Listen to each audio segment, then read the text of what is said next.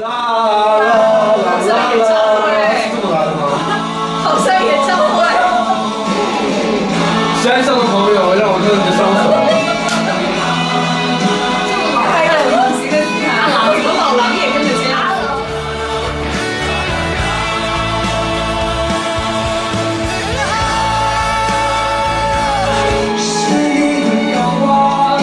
你这么同一首歌？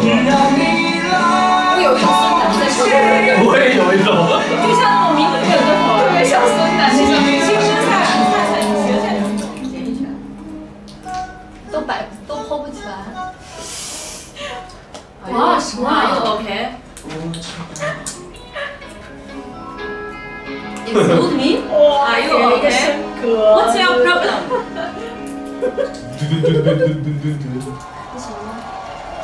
我不喜欢。勇气就是，不管这个国王身边有多少兵兵，或者再困难，就是要把事实说出来，一定要保守自己最纯真的那颗心。我觉得这个 OK 的，但是你唱的你这说唱的不好，给你找个菜谱。慢乐，其实我觉得做乐队慢乐那但是也特别像王思聪，我想跟大家争对对对。你们不觉得慢乐特像王思聪吗？慢乐是谁？哦，我知道，我知道。不像吗？很像哎。我觉得王思聪比较低调。我好装逼。哦，小乐家世。他不像王思聪，他像杨成刚。你不要侮辱杨成刚。杨成刚怎么？杨成刚是我们河间的。捞山他比那个。一个好消息啊！的，你说什么？人家是武汉人。杨成刚是武汉人，河间人。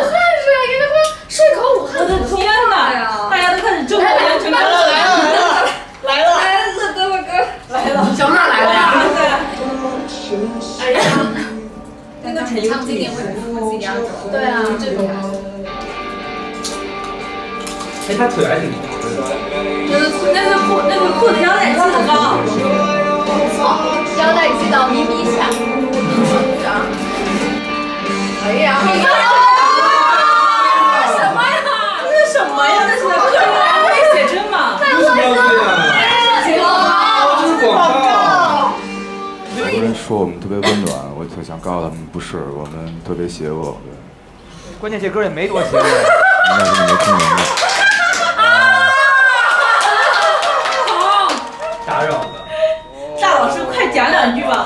怎么表现的邪恶呢？这首歌其实也不是邪恶，人性里有好多东西，每个人心里都有善和恶，所以有的时候它就会有太阳，有时候就会有月亮。我更想表达在夜晚里的。大老师这个表表这情所有的荒谬，的破碎都结集在那些晚上变成星星，然后它照亮，它就在这，它也在你心里，也不在你脑子里，你自己大脑比宇宙还大，人话好吗？好意识流，可能就是你说人话。我也不知道我想说什么。他可能觉得就是要浪费我们时间了。我我我知道你要干嘛，因为你觉得冷才是酷，所以你希望自个儿那些冷的地方让人感觉到你的酷。我没有觉得冷是酷，我没有觉得热是不酷，而是因为我觉得你要直面你自己那些黑暗的东西。那你把你墨镜给我摘下来先。你看大张伟就试图用解读他的话。有人说过你装吗？好多人。为什么要你做摇滚乐？为什么要这么装呢？为什么？我特别自然呀。你就是说你装的很自然，还是说装就是你的真实？我就这样，我就这样。行，那就竖大拇指，厉害厉害厉害厉害厉害厉害厉害！大老师牛，大老师牛逼啊！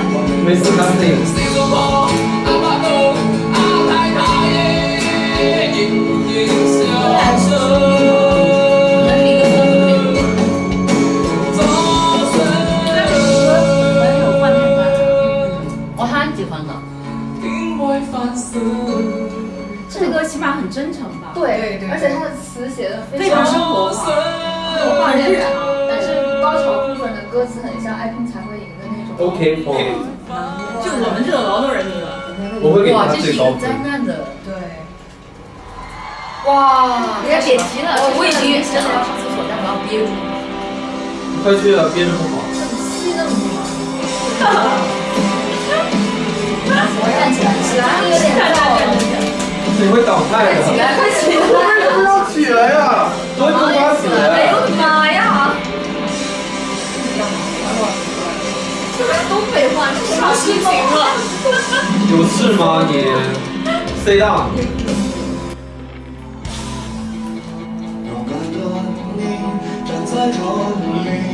脸庞清瘦却骄傲，在这远方没人陪伴，只有幻想和烦恼。哇，那很适合我们这种打工狗。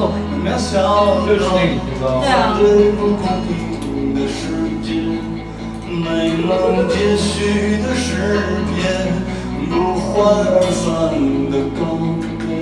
我倒下后不敢回头。不能再见的朋友，有人堕落，有人疯了，有人在这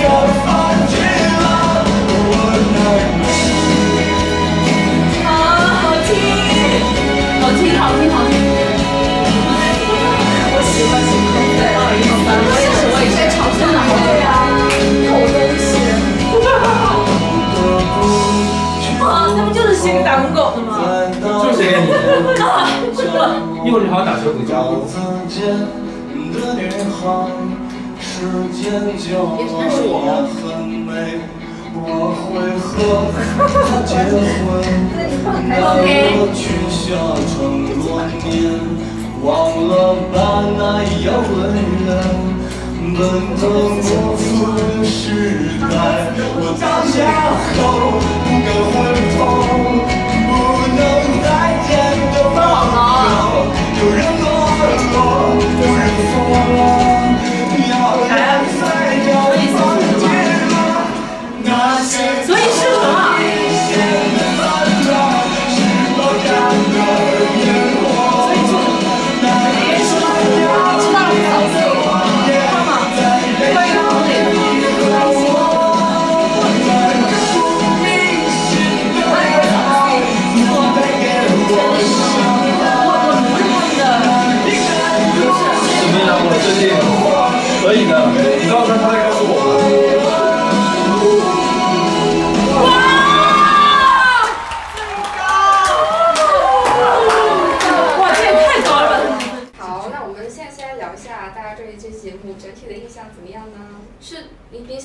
看，还是比难看？比想的难看，就比起前几期难看一些，就是感觉很 boring。嗯嗯。对，并且他说这今天有什么主题？我觉得每一首歌。主题都不是很搭吧？它是有个主题，就是理想，理想世界，理想世界。但我觉得我不知道是节目组对理想的理解有误解，还是说完全想不到一直在 Q 他的爸爸妈妈、爷爷奶奶什么什么什么，就都是一些很感情牌的东西啊，不是跟理想没有什么关系啊。而且这一期我很受不了，就是他们把唱歌的时候把那种 MV 的东西拍成广告这种放进去，特别出戏。本来我可能在看一首歌，我特别投入，你会带入你的一些情绪。出现广告的那种东西的时候，就会跳出那个情绪。是啊是啊是。但这次我觉得大张伟很有意思，我就等看大张伟对小乐。那个慢慢乐。啊对。接下来有人来解释一下慢乐什么意思吗？曼彻斯特的小乐啊。讨厌。我就看大张伟问他，你不觉得你自己装？我简直想给大张伟鼓掌。大老师依然是恶毒界的一枝独秀，我跟你讲，真的是一座高山过不去了。确实是。我觉得挺厉害。让那个曼乐哑口无言。也没有哑口无言，他没有哑口无言。曼乐在跟他的交锋当中更加坚定要做自己的。对，而且觉得自己特牛。你们觉得他们他们有像绿洲？有啊。太像了，好吗？就是绿洲的主唱就是这样吗？可能我最喜欢，我就要骂 everyone 嘛。我觉得他是有点在模仿人设的感觉。其实别人有问过他，直接当面问他说：“你是不是在抄抄袭别人？”他就说说，他不不否认这些乐队对他有影响。啊，但是之前那时候主唱连有说过，如果你觉得心情不好的话，你就看一下镜子，然后你就知道自己该干嘛。然后小乐也说过同样的话哦。一模一样。我老跟别人说，你知道有时候难过的时候你需要干嘛吗？照照镜子，然后心情就会很好。然后我们念一下这个 Liam 的原话。用英文。那用英文可以啊。I suppose I do get sad, but not for too long. I just look in the mirror and go, "What a fucking good-looking fuck you are." 就是他，就是用那个谷歌翻译翻译了一下。他有传传递的这种态度。对。对。就是没有没有没有属于。是一种信念的接力。对。因为我是 Oasis，我是盘尼西林。嗯。我们都是最好的乐队。那你？I'm the king of the world。我觉得这些摇滚乐队来来为一个。什么所谓 Hot Five 的排名来竞争，觉得这个就很荒谬的感觉。我本来就很担心这个节目让这些乐队丢掉了他的态度，然后再看这一期跟大家一起看，我并没有觉得这个节目让我改观的。他把这些乐队变成了流行乐队，而不是一个很有态度、很有不同音乐想法的乐队。我们现在都觉得小乐很装，但起码他是，他有一个态度，他的态度就是装逼。那难为他。如果你看整个节目的话，应该是可以感受到他们每个乐队他们自己想做的音乐、想表达的东西。就是为什么我觉得这个节目我还挺喜欢的。比如说像湖南卫视那些，我觉得他们只是去拍一些。让我们配饭的节目，但这个节目真的是在介绍这些乐队，或者说是有内容的，可能跟奇葩说有一点内核的相似，就是他们是在表达自己的观点，这观点不一定你认可。我其实我觉得把比赛这个制度引进来，我觉得没有什么问题，因为它本身就是一个娱对是综艺节目，是一个娱乐的过程。如果你不把这个比赛引进来的话，那那可能大家都不会用很认真的态度来对待这个节目，大家可能会就随便唱唱自己的主题曲。为什么第一期很难看？其实第一期就是一些老炮儿。随便来唱唱自己最最有代表的那些作品，那其实就很没有意思。其实他们没有一种基本的紧张感和认真感，所以我觉得往后面其实是好看。而且比赛机制或者说各种的节目为什么要这么有压力？为什么要留在这个节目？为什么要让大家喜欢自己？他们就是想尽可能在留在这个节目上，然后多表演、多曝光。彭磊自己说了，就是说上这个节目可以吸粉。所以就是流量对他们来说真的很缺吧，结果他们表演的目的不见得是真的要争那个 top five，只是想在尽可能留在这个节目上给大家喜欢。哎，这是哪个人说说要把乐评换掉？旅行团？旅行团，我觉得旅行团说的特别好。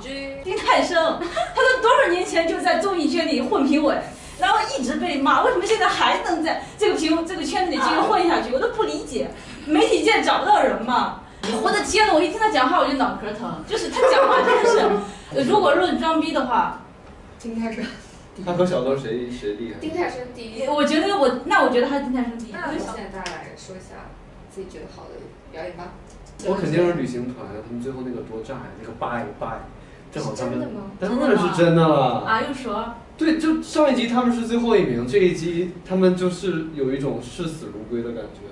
就唱的就特别的卖力，嗯，视觉挺加分。对啊，视觉多加分，并且那首歌一投出来就大家都会唱。是吗？但你觉得那个有点太土了吗？你怎么？你对土有什么定义呢？你给我讲讲什么叫土？什么叫不土？旋律太简单了。You see？那欢乐颂的旋律也简单啊，你看你能不能哼出来？生日歌的旋律也简单啊，大家都会唱啊。他要的就是大家都。有一种参与感，你看底下人多棒。我觉得你是在说他们，其实更多的是你喜欢他们的氛围。对因为其实就是我没有听过那首歌，可是到后面我就会唱了。对对对对。我觉得是因为他们就是利用他们的乐器，把就是整个感觉做得很炸，然后带动了整场的氛围。但是其实我按音乐层面来说，我个人不是很喜欢旅行团。这是个秀嘛，它要声光电什么唱都要综合一下。我觉得最后一个旅行团，他们实至名归是 number one。我喜欢新裤子，我喜欢他们的现场。怎么说呢？因为彭磊他是导演，然后他们好像又学美术出身的，所以他们整个表演，你看除了音乐是他们负责以外，可能连舞台那方面，或者说，或者他们的 MV 都是，或者是背景的那些特效、那些动画，可能都是由他们自己也有参与。所以不仅是音乐，而是整个表演的方方面面都是他们整个乐队的输出吧。所以这是他们前卫或者说新潮的地方所在。所以新裤子就行。我特别喜欢他们写的歌词，不管是没有理想的不伤心，还是最后的乐队，还是故事，我觉得他们虽然歌词都是那种特别简单、特别直白，可是他就是有那种生活特别真实的一面。觉得其实他们好像有一种在为生活嘶吼着的那种感觉。对，其实摇滚乐是应该有这种感觉，就是用旋律来烘托几句很简单、很直白的歌词，但这是主要的精髓。那我们第六期《头条见面会》就到此结束了。这还有一个拜拜，拜拜。